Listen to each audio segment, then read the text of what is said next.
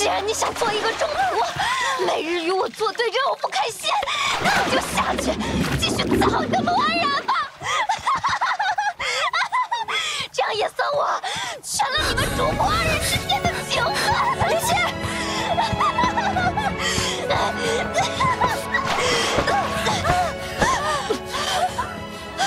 小姐，王妃，王妃，别来无恙，庆王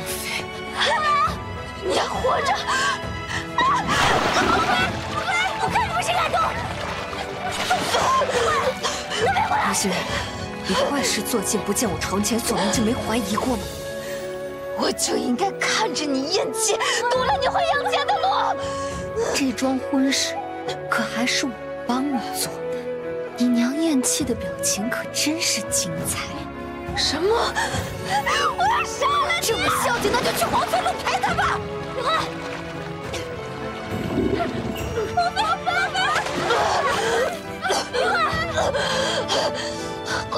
是庆王妃，你要杀了我，殿下一定不会饶过你的。殿下需要的是陆家，你不过是个废物，我杀了你，殿下不会在意。今天你就算死在这里，也偿还不清对陆家、对玉儿的血债。走开，走开。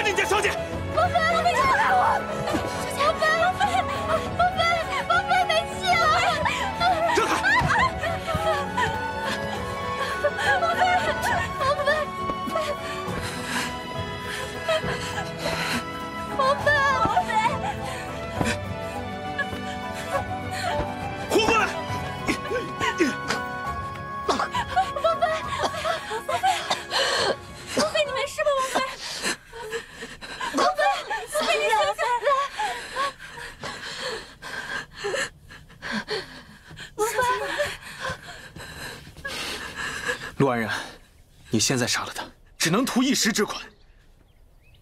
你跟他不一样，杀家人之仇你背负不了，我也不会让你背负。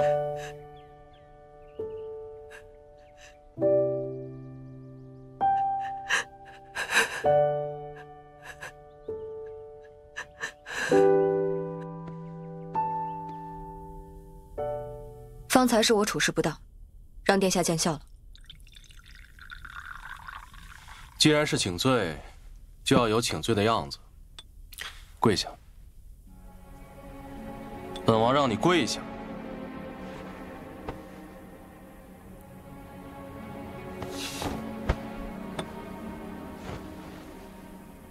是我处事不当，冲撞了庆王妃，还请殿下恕罪。陆欣然的命，本王不在乎。就算它是一条狗，它也是庆王府的狗。打狗看主人这个道理，你应该懂。下次我必定先征得殿下的同意，再来杀他。你这个女人啊，是越来越有意思了。起来吧。刚刚回到汉京，就着急见本王，怎么？是特意来杀人的吗？我想把灵犀带回去，还望殿下准许。你是一个生意人，儋州的弓买不了今天的账。想要带走你的人，得拿出一些诚意来。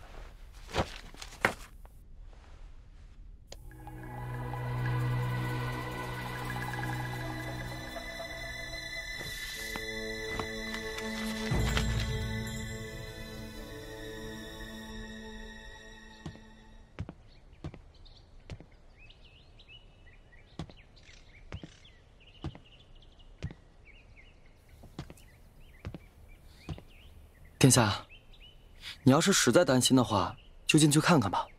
庆王殿下不会同您计较的。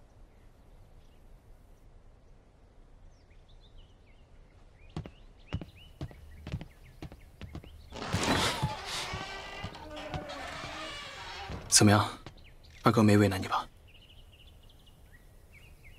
那灵犀呢？我有些累了，赶了一天的路，我先回去了。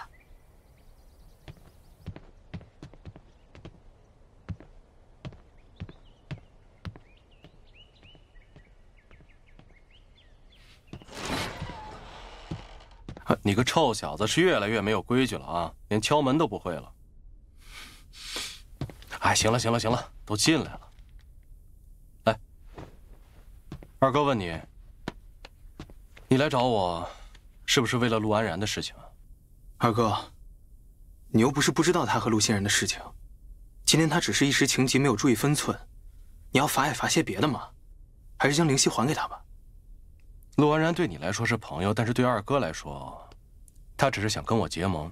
既然是结盟，就要有诚意。二哥现在还没有完全信任他，如果不拿住他的痛处的话，他怎么才能够真正为二哥所用呢？可我以为，人当以真心为媒，才能成全彼此的信任呢。现如今这天底下，哪有那么多真心呢？多的都是心怀设计。计较得失，你二哥是个俗人罢了。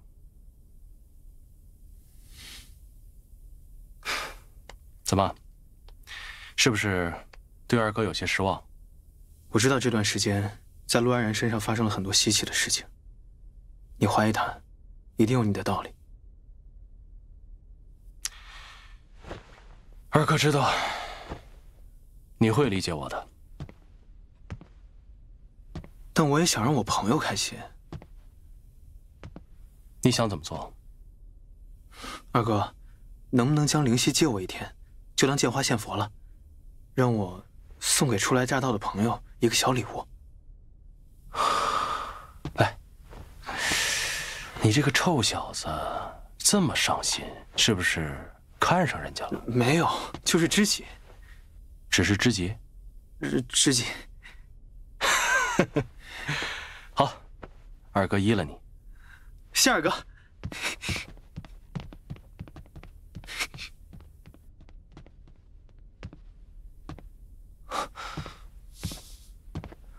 殿下，本王知道你担心什么。我这个九弟啊，很少来求我，所以本王也不忍拒绝。不过你放心，他是守信用的人，说了一天。就肯定只有一天。只是不知道陆安然那边会不会领殿下这份情啊？本王不在乎陆安然是否成情，她不是真是那个丫头吗？让她看一眼再收回来，得而复失，她会更加拼命的。殿下英明。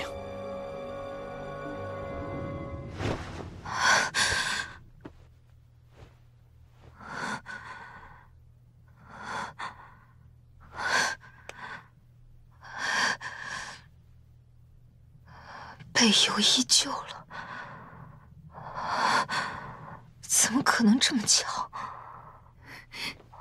殿下现在肯定知道您是毒害了姐姐嫁进来的，那可怎么办呀？你慌什么？这个没用的东西！奴婢该死！这世上哪来这么多大难不死？我和母亲都算错了。这件事情从一开始就是他的计划，他就是想羞辱我、折磨我。奴婢还听说他在汉京住了下来，以后肯定还会常来府里的。不行，我得去告诉殿下。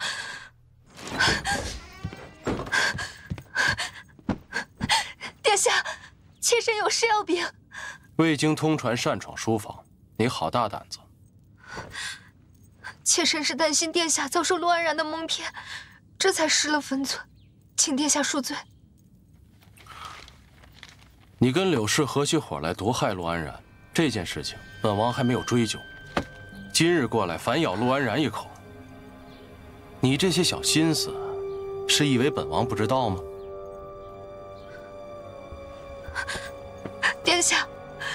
如今陆安然气势汹汹的闯入庆王府，想要了妾身的命，又怎么会被妾身的母亲所害？为何妾身的母亲死了，陆安然他却还好端端的活着？陆欣然，你觉得这件事情的真相，本王在乎吗？殿下，本王告诉你，只要现如今陆家还能为本王所用，陆安然，本王还能够驱使，这就够了。本王不在乎庆王府多你这么一个闲人，但有个前提，如果你成天搬弄是非，那绝对没有你的好日子过，记住了吗？殿下，出去！本王让你出去！